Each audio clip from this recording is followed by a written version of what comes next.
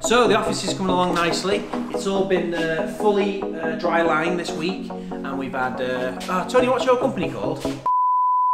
So the office is coming along nicely. We've had um, Applied Design, uh, which is a company over from Norley, and they've done all the dry lining this week, and they've done all the taping and jointing on all the boards, and it's looking great in here. It's all coming together. It all feels a lot more solid up here too. All the board inside it all in nicely. So uh, conference room's all been done, fully boarded and, and sealed. Server room, the offices. Tony's just here now finishing the last few bits of, uh, of jointing and taping. So hopefully by the end of this week we'll uh, we'll be starting painting the walls.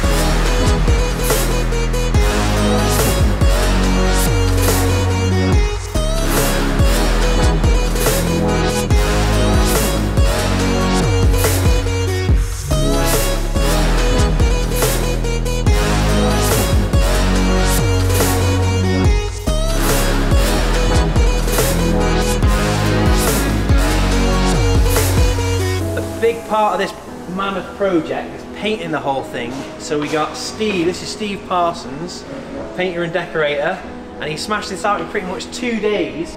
How have you got on with it? It's all right. It's been all right once it got all sealed up. Uh, the joiner went a bit heavy with the nails, but uh, looked like a, looked like he'd attacked it with a machine gun. it did have, But, a, uh, did have a lot in it. I tell you, it's never coming off though, is it? Oh, it's not going to fall off. Well, I'm really, really chuffed with that. I think you've done a great job and it's looking really, really clean now, all in grey. It was a bit of a patchwork quilt of, it was like an extension on an extension, this back bottom building, so it was all a bit Yeah. hodgepodge, wasn't it? Yeah, it look all right now. Now it's all under colour.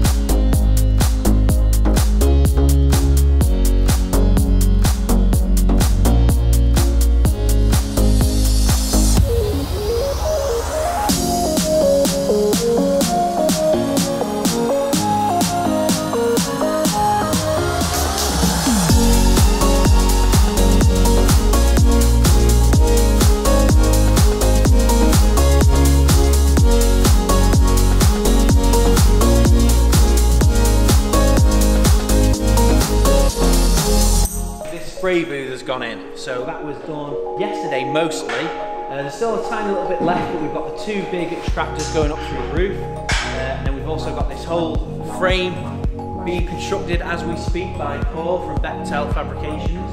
Uh, they've made this whole frame for us, and it's a custom design to hold our collapsible drying racks. So we're going to have four drying racks next to each other there. Rob and John from Atkinson's of Cheshire are back in again this week. They're hard at work doing all the skirting boards and architrave. Um, so we're, we're not far off the usable office. A couple more days in here, and then we've got to do a bit more painting, put the carpet in, and the big one is next week or late this week. We'll be putting in the suspended ceiling. This is my project for the next probably two days. The server rack's just arrived today, so we're going to be having uh, our own in-house server, running all of our uh, own network here, and it's going to be all Cat 6 back to this cabinet, which is going in our server room. It looks totally different with the plasterboard up, doesn't it? All your good uh, joinery work's been covered up by the ceiling.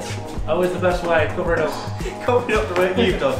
Oh, it's solid now though. It was solid before, but yeah, ties it all in, doesn't it? It's good these glass panes are so big because we've literally been able to like forklift all the plasterboard through the window, all the insulation through the window. The server cabinet came in through the window, and um, All long lengths of I skirt. don't know if we need glass. We can just have Access, access hatch.